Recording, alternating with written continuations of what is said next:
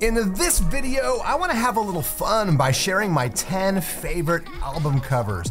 Many of these covers have some interesting stories, so today, let's judge a record by its cover. Hey, what's up? I'm Jason, and this channel is for vinyl lovers who want to find something new to listen to, purchase, or avoid. I focus on vinyl, but everyone is welcome.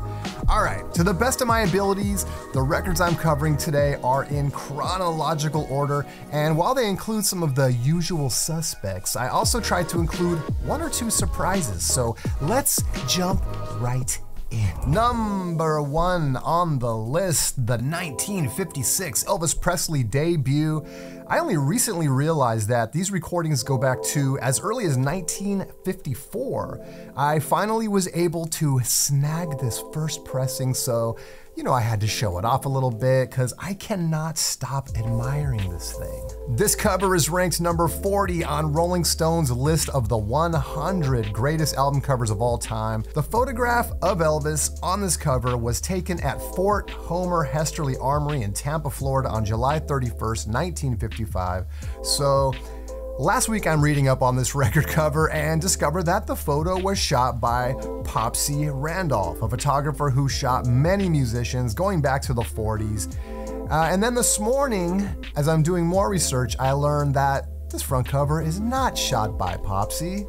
The actual photographer is William Robertson. The Popsie credit attributed to the album only applies to this series of photos featured on the back cover. And hopefully this isn't still in dispute. This is one of the most iconic rock and roll photos of all time. We need to make sure we credit the right dude. Number two on the list, the great Eric Dolphy's 1964 album Out to Lunch an avant garde jazz masterpiece. The album cover was designed by Reid Miles, featuring this photo of a Will Be Back sign displayed in a shop window showing a seven handed clock. What I want to know is was this staged or was this just randomly hanging in that window like that? I really want one of these seven handed clock signs now.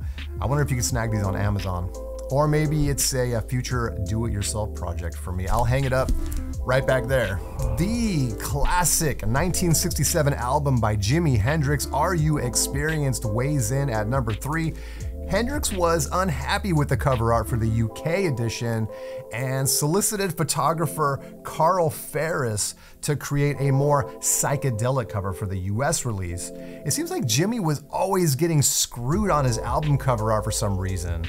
Uh, no matter how explicit he was about what he wanted, the labels just did their own thing every time. Come on, man, it's Jimi Hendrix! Can we get this guy the album covers that he wants, please? But this is one of the great psychedelic albums of all time with a fantastic psychedelic cover. You cannot look at this cover without hearing.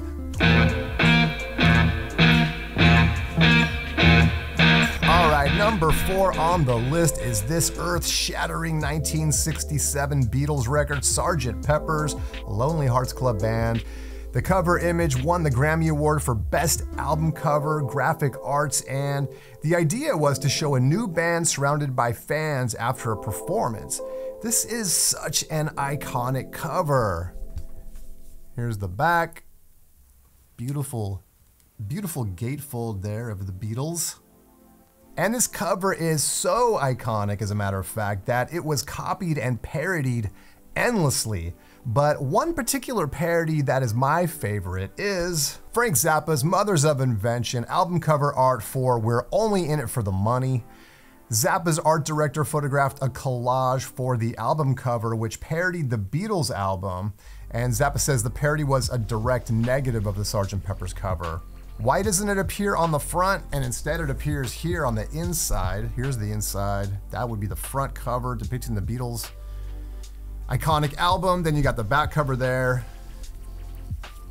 and the inner gatefold here on the outside instead. So why was it transposed? Well, Zappa phoned Paul McCartney seeking permission for the parody and apparently McCartney told him, it's an issue with our business managers. And Zappa said something like, Aren't the artists supposed to tell their business managers what to do? They could never get a deal done, and Verve, in fear of being sued by Capitol, was like, sorry, we can't do it.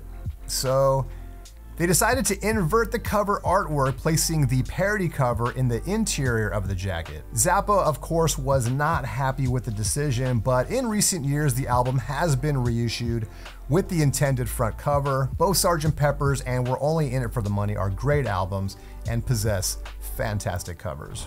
Next up is Big Brother and the Holding Company's Cheap Thrills. This is a fantastic album. I feel like this album might be relegated to the dollar bin in some people's minds, but for me, even more than the incredible Janis Joplin vocals, this album is just a killer psychedelic rock album. The cover was drawn by underground cartoonist Robert Crumb. It was commissioned after a photo of the group naked in bed together was vetoed by Columbia Records. Also, the band wanted the album's title to be Sex, Dope, and Cheap Thrills, but again, Columbia Records was not having it. Come on, man. Number six on the list is a classic album by a classic band, and the cover art was created by a classic artist. Rolling Stone selected Aoxomoxoa as having the eighth best album cover of all time. That's not why I picked it. I didn't know anything about the Rolling Stones rankings until after I made my selections, but this cover was designed by Rick Griffin. Griffin is an incredible artist who designed many iconic album covers and posters, and here are a few other covers by Griffin just for fun. He did the cover art for Quicksilver Messenger Service's debut album, The Grateful Dead's Wake of the Flood, Reckoning, and Without a Net. The artwork for Aoxomoxoa was adopted from a concert poster painting for the Grateful Dead. The bottom portion depicts death, rebirth, and the cycle of life with fertility symbols, and Egyptian based imagery, while the top depicts a sun which doubles as an egg being fertilized. Aoxomoxoa is a great album and one of my all time favorite record covers. So, this one is a real treat. This is a very rare bootleg Zappa album from, I think, 1970. And the reason I believe that is because, check this out, this is an ex library copy. Can you believe that? This was in a Texas library, and people would check this out, go home, listen to it, and then return it to the library. There is so much about that that's just cool and odd to me. This record is near mint condition, so I can't imagine it was checked out much, if ever. But anyway, check out this cover.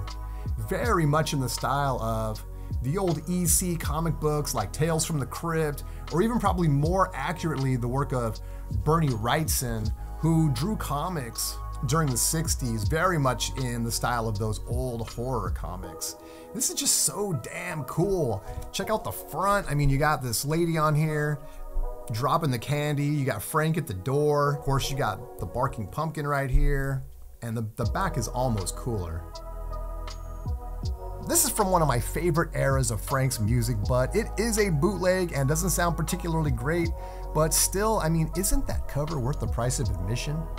Okay, number eight on the list is a very, very iconic album cover The Rolling Stones Sticky Fingers from 1971.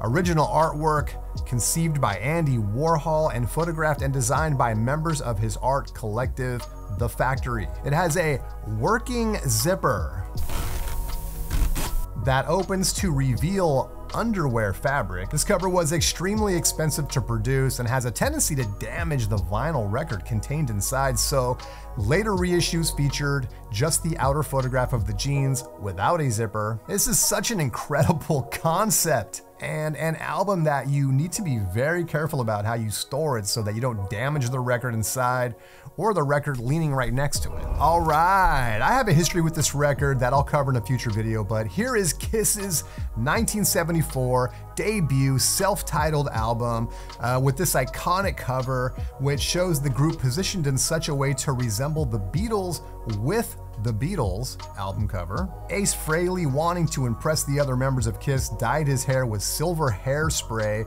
And according to Peter Criss, photographer Joel Brodsky thought Kiss were literally clowns and wanted to place balloons behind the group for the shoot. The photographer denies this, but it's freaking hilarious if that's actually true. Where's that album cover? Can we get a reissue with balloons in the background, please? Number 10 on the list is a little album I would never have heard of if it wasn't for the Omaha introvert discussing it on her YouTube channel sometime back. This is the Sounds 1981 album from the Lions Den. Dude, I've done that every single time.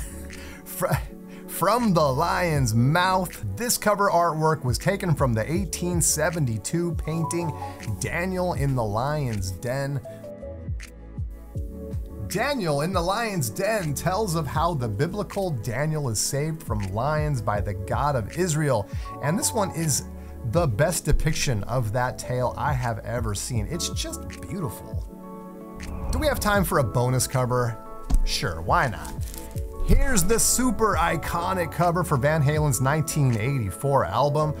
One of my favorite album covers of all time, with the kid or cherub with the angel wings and the smokes and the 50s style hairdo is just so cool. There's a whole story behind this cover, which I'll link in the description if you're interested. But basically, the artist Margot Nahas was commissioned to do the album cover depicting four chrome women dancing. She refused for whatever reason, but her husband took her portfolio to Van Halen, and in the portfolio was this painting. And obviously, the band liked it so much, they decided to use it for their iconic 1984 album cover. You can buy prints of this cover art from VanHalen1984.com, and I've been so tempted to buy one. Margot, if you're watching, if you send me a print, I swear to God, I'll include your link in my videos from now until the end of my YouTube career, I promise.